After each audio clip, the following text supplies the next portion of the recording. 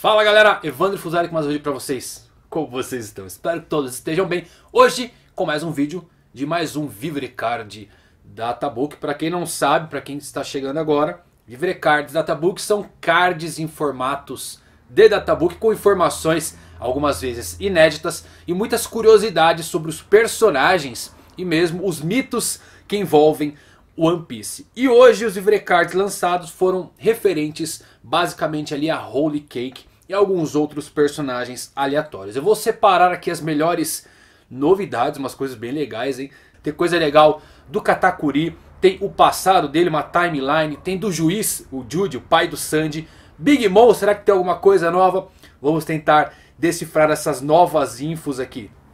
Obviamente aproveita para se inscrever se ainda não se inscreveu. Ativa o sininho para receber notificações e dá um confere se o YouTube não desinscreveu você aqui no canal. Porque está fazendo isso com um monte de gente. Vai entender esse YouTube.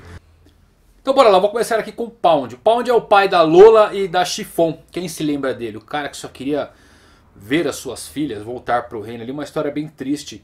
E é revelado que ele é o 25º marido da família Charlotte. Ou seja, o 25º marido de Big Mom. Ele tinha 48 anos e está implícito aqui que ele está morto. Então é muito legal isso nos cards, porque quando o personagem está morto, eles colocam esse detalhe. Tem personagens que não apareceu, como o Pedro. O card do Pedro lançado no anterior não tinha essa informação de que ele estava morto, então pode ser que o Pedro volte aí. E aqui parece que consta aí que realmente o, o Pound está morto.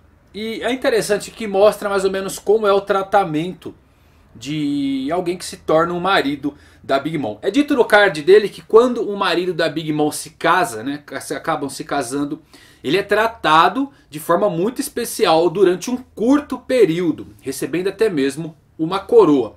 Provavelmente representando uma espécie de status de igualdade com Lilin, que é a Big Mom. E é por isso que o Pound tem uma coroa.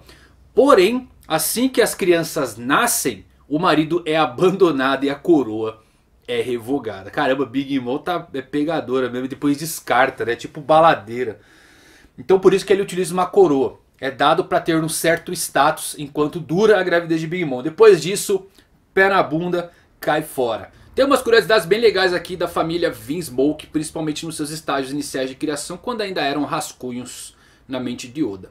O juiz, Judge, né, o pai do Sanji, deveria se chamar Conde Karakuri.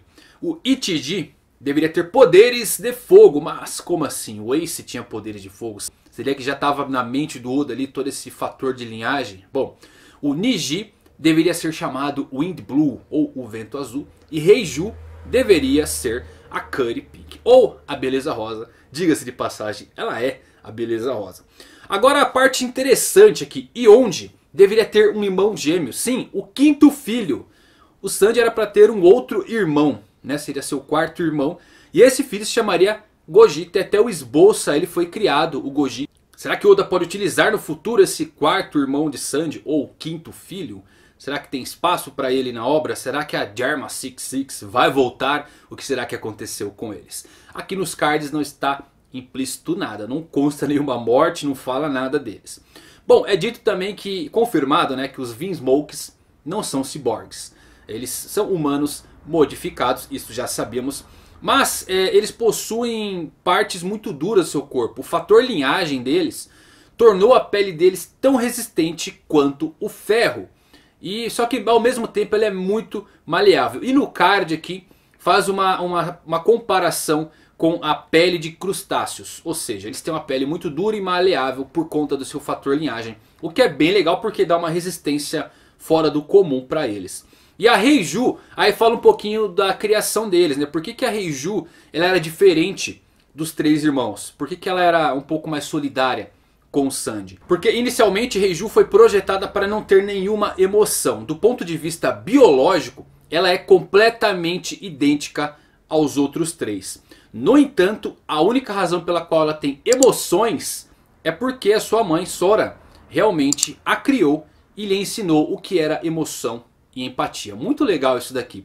Então o que aconteceu? A sua mãe, a mãe dela, né, a Sora, passava muito tempo com a filha e ensinou a ela o que, que era é, um, um, fragmento do que era o amor fraternal, né, maternal. E tentou criar ela para ser um humano comum.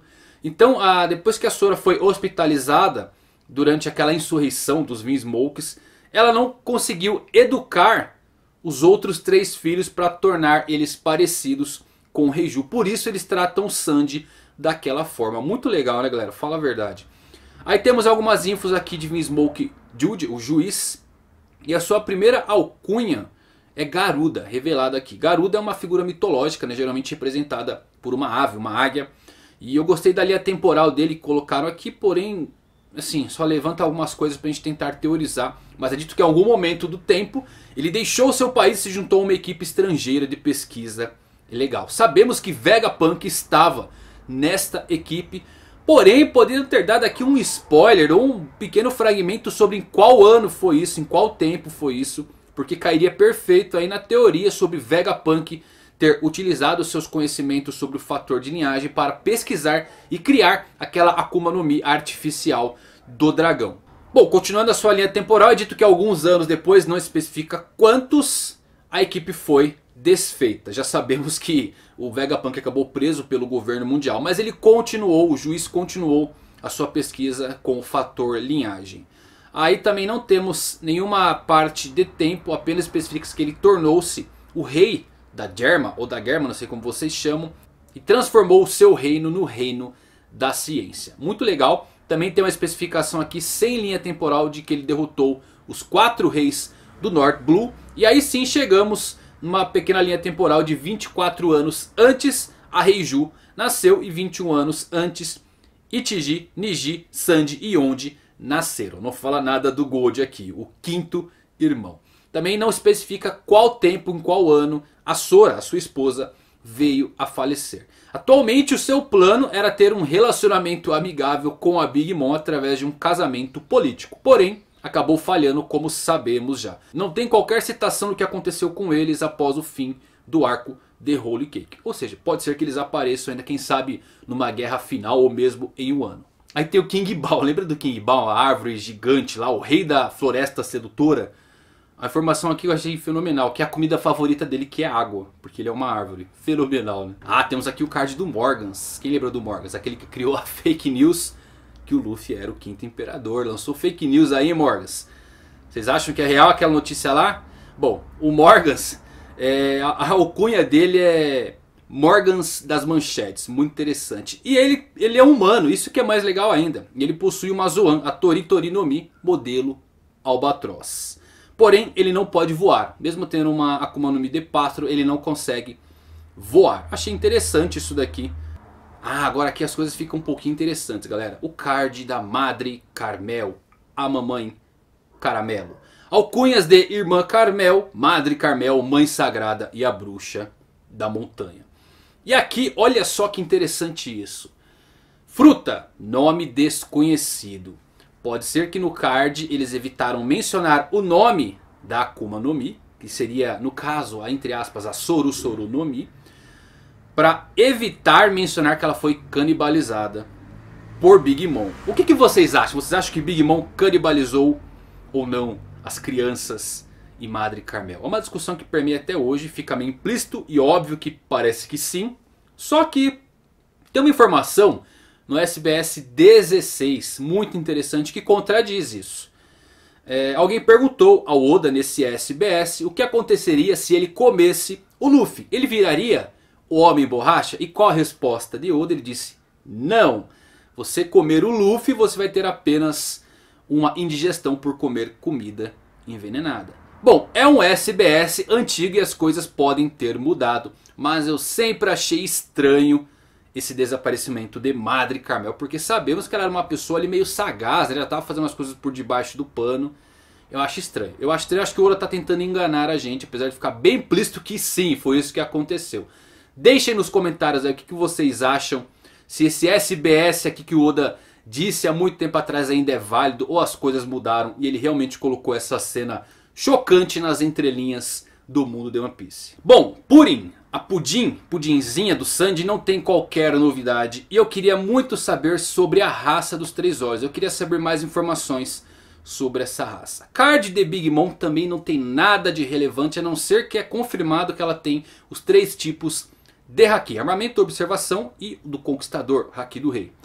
Bom, ela deve ter um outro card se lançarem os cards de ano. E ali sim devemos ter mais novidades porque é nesse arco que vamos saber mais do seu passado e todos os mistérios que a cercam. Incluindo aí esse mistério sobre a sua Akuma no Mi, o seu passado com os Rocks, seu passado com o Kaido. Então pode ser que Big Mom tenha um outro card. Eu acho justo porque, convenhamos né, é uma das mais poderosas, a Imperatriz dos Mares e precisa de um card com mais detalhes. Fora isso, desse card não tem nada de relevante.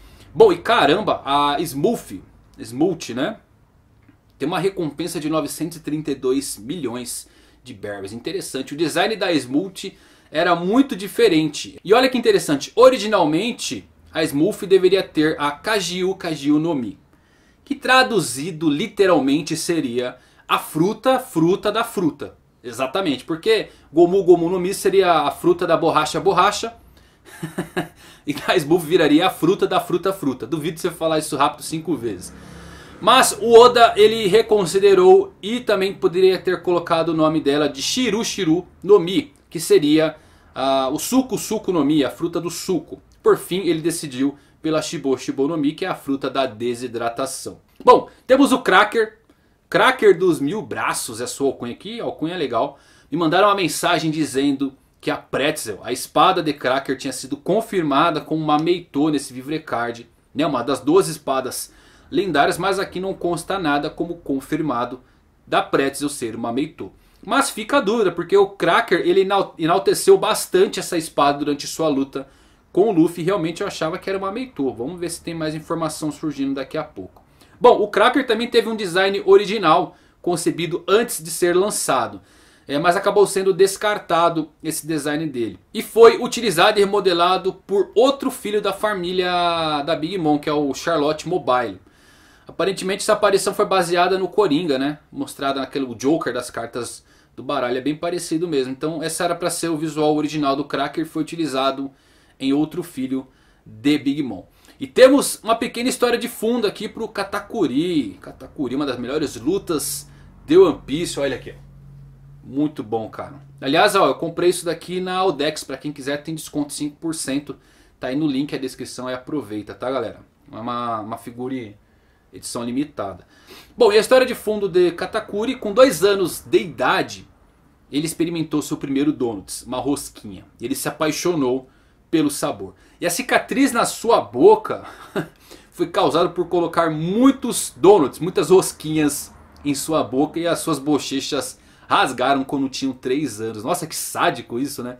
Bom, depois de se recuperar, a sua cicatriz ficou para sempre. E com 5 anos foi quando ele comeu a Moti Motinomi, que é uma das frutas, diga-se de passagem, mais absurdas. Até o Oda teve dificuldade de lidar com ela, porque quando lançou essa fruta, ela era uma logia. Depois ele mudou para a Paramécia. Realmente uma das frutas mais absurdas já lançadas em One Piece. Bom, e quando Katakuri tinha 10 anos de idade, a sua irmãzinha Brulé, que tinha apenas 5 na época, foi ferida por alguns bandidos, vamos colocar assim, uma galera que estava meio que assediando ela ali.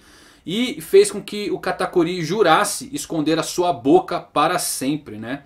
Para manter a sua aparência. Foi assim que começou a sua jornada, a sua história de ser o homem perfeito. Então ele tinha um pouco de, de, de vergonha dessa cicatriz aí. Interessante, nos primeiros rascunhos do Katakuri, Oda ele iria fazer ele ser um usuário da fruta da farinha. Que estranho, né? E ele teria um topetão. É assim que ele seria originalmente concebido para se parecer em todo o arco. Mas aí o Oda decidiu mudar seu design antes da sua estreia. Eu preferi esse design mais atual do que o antigo.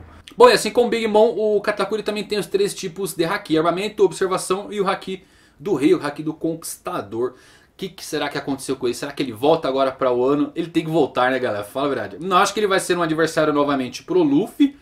Mas eu acho que ele pode aparecer sim, dar as caras no país deu ano. Todo mundo curioso para saber se volta ou não, porque é provavelmente o personagem mais forte que o Luffy já enfrentou e muita gente não engoliu aquela vitória do Luffy. Também é revelado aqui as recompensas de Oven e Daifuku, que são 300 milhões de berries. Bom, são os trigêmeos de Big Mom, né? E é confirmado que eles nasceram em um barco. Katakuri, Oven e Daifuku.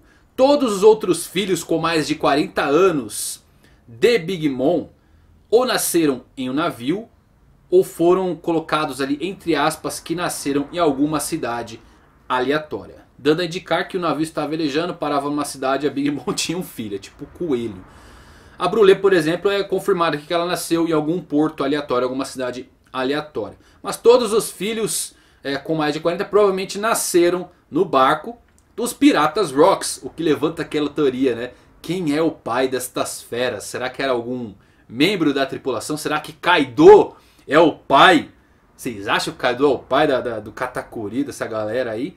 Sei lá, hein, galera.